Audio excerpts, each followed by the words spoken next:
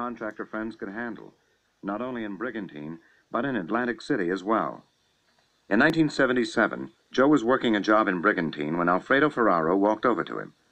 Come here, Joe. There's somebody I want you to meet. Joe asked who it was. Philip's uncle, Alfredo replied. Joe followed him across the job site to where a small man in his 40s was squatting next to a concrete wall. He was clearly wealthy, and the other men at the site seemed to treat him with respect. Nicky, Alfredo greeted him. This is Joe Salerno. The man did not stand, and Joe had to stoop to shake his hand. What do you do, Salerno? he asked Joe. Joe said that he was a plumber. Good, Nicky replied. That's good. I hear you're a pretty nice guy.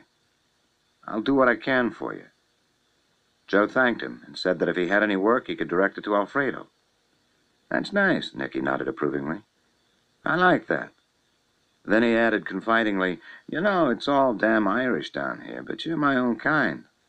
Anything I get, I'll throw it your way. They shook hands again, and Nicky left. Joe watched him drive off in a new black Cadillac sedan. He's a good man, Alfredo remarked. Joe knew that Philip's uncle Nicky was Nicodemo Scarfo, who controlled a cement contracting business in Atlantic City called Scarf Incorporated. He had never worked with the company, and apart from those few facts, he knew nothing about Nicky Scarfo or his business. Gambling brought changes not only to the shoreline, but to Joe Salerno's home as well.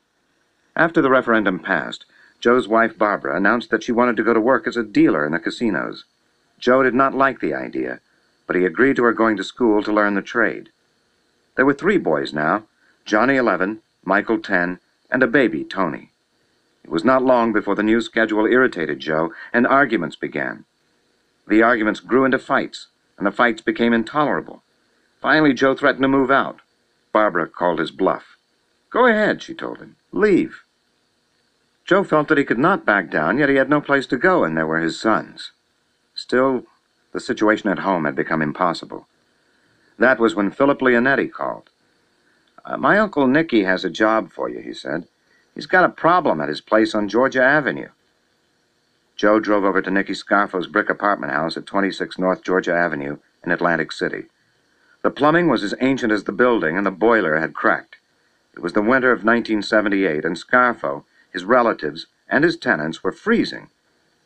You're supposed to be a good plumber, Scarfo grumbled at Joe in the storefront office of Scarf Incorporated. Get the goddamn heat on. It was an enormous job. The boiler was a million BTUs and heavy as a battleship. Joe special ordered a new unit and then hired two men to help him disconnect the old one and haul it out. The job took five days of heavy, dangerous, dirty work, punctuated by Scarfo shouting down the vents, when are we gonna get that goddamn heat? Joe estimated the cost at $25,000 for equipment and labor. Scarfo paid Joe's discounted price for the boiler, but he offered nothing for the labor. Joe left the bill at the Scarf Incorporated office. The next day, Nicky's son, Chris, came to the job site where Joe was working and handed him back the bill. Across it was scrawled the words, Crime Don't Pay. Joe was bewildered. At first he thought it meant that Scarfo was accusing him of cheating, but he knew that was not so. Later, Joe showed the bill to his contractor friends and asked them what he should do about it. Alfredo Ferraro shook his head. Just don't do anything to upset the little guy, he told Joe. Vincent Falcone seemed to agree. Joe wanted to know what they were talking about. Look, Eddie Saprisso said, these guys are no good. You don't want to get too involved with them. The next time he saw Philip Leonetti, Joe mentioned the bill.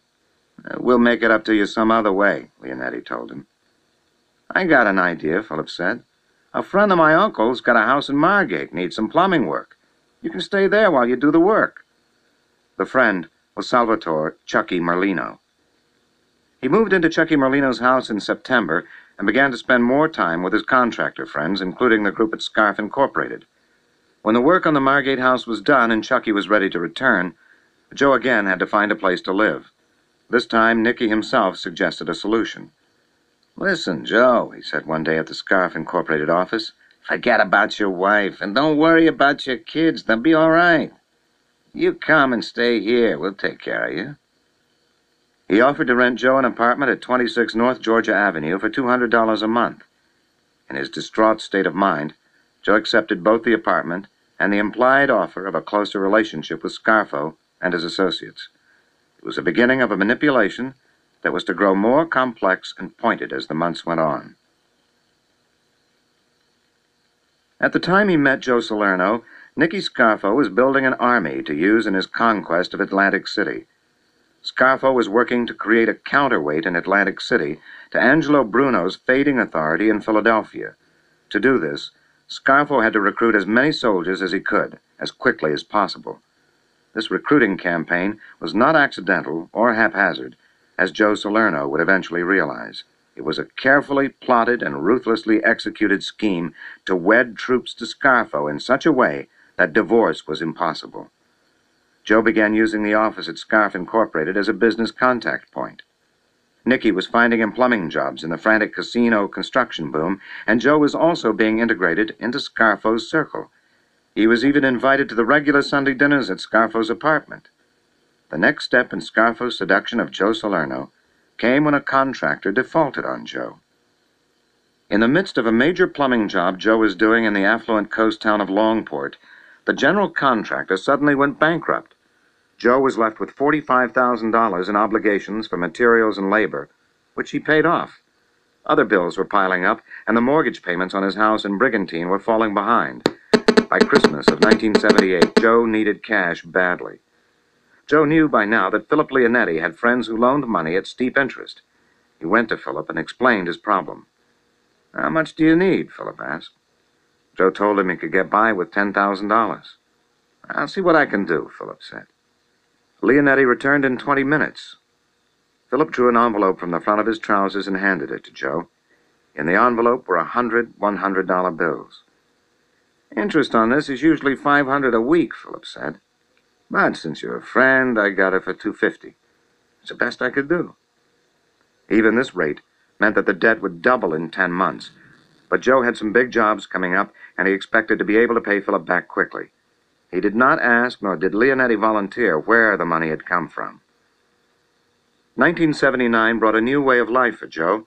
During the day, he worked out of Scarf Incorporated, trying to pay his debts and keep his business afloat.